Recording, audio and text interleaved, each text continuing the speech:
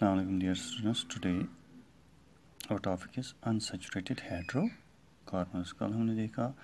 Hydrocarbons क्या होते हैं, और आज हम देखेंगे अनसेचुरेटेड हाइड्रोकार्बन्स अनसेचुरेटेड हाइड्रोकार्बन्स वो हाइड्रोकार्बन्स हैं जिनमें एटलीस्ट एक डबल बॉन्ड या एक ट्रिपल बॉन्ड होता है. उनको हम अनसेचुरेटेड हाइड्रोकार्बन्स कहते हैं. वो हाइड्रोकार्बन जिनमें कार्बन कार्बन डबल बॉन्ड होता है, उनको हम अल्कीन्स भी कहते हैं, और वो हाइड्रोकार्बन जिनमें कार्बन कार्बन ट्रिपल बॉन्ड होता है, उनको हम अल्कीन्स कहते हैं। Hydrocarbon which two carbon atoms are connected by double bond और a triple bond are called unsaturated hydrocarbon इनमें हम एग्जांपल लेते हैं, इनके सब अल्कीन्स इथीन है carbon carbon double bond this double bond is formed by sharing of two pair of electrons between these two carbon atoms इसी तरह हम देखते हैं ethene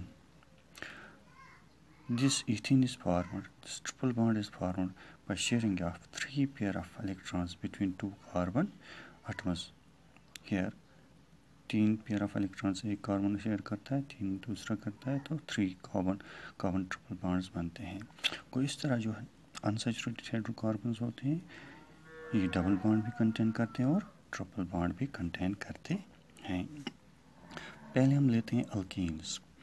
an unsaturated hydrocarbon in which the two carbon atoms are connected by a double bond is called an alkene वो hydrocarbon जिनमें carbon carbon double bond होता है, जैसे कि इथीन में। इथीन में देखा हमने। जो कार्बन कार्बन डबल बॉन्ड होता है, जिस carbon carbon double bond is form by sharing of two pair of electrons between these two carbon atoms so double bond is form को जो अल्कीन्स होते हैं, इनमें these are unsaturated hydrocarbons which are formed by sharing of which are formed, in which carbons are connected by double bond. इस तरह, जो ये double bond बनता है it's form by the share of electrons between two carbon atom जब कार दो carbon atom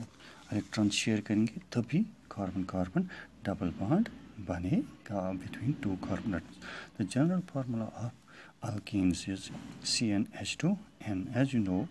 why n is the number of carbon atoms अगर हम कार्बन चूँकि हम इथिन अल्कीन्स लेते हैं अनसेचुरेटेड हाइड्रोकार्बन से so carbon should be equal to that is n should be equal to 2 so if we enter the value of n in the formula general formula this c2h2 into 2 equal to this is c2h4 here we will write c double bond c single bond h single bond h single bond h single bond h. Here if we take the carbon n equal to 3 then this is c n equal to 3 here we'll write c 3 h 2 2 into 3 here we'll write c3 h 6 c c first we'll write chain then we'll arrange the carbon atoms this is hydrogen hydrogen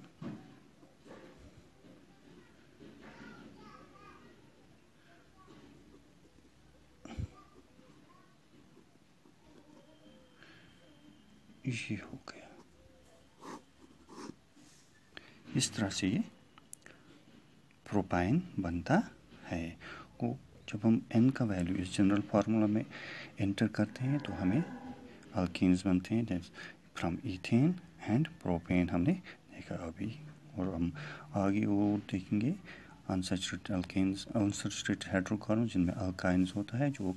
at least one triple bond contain करते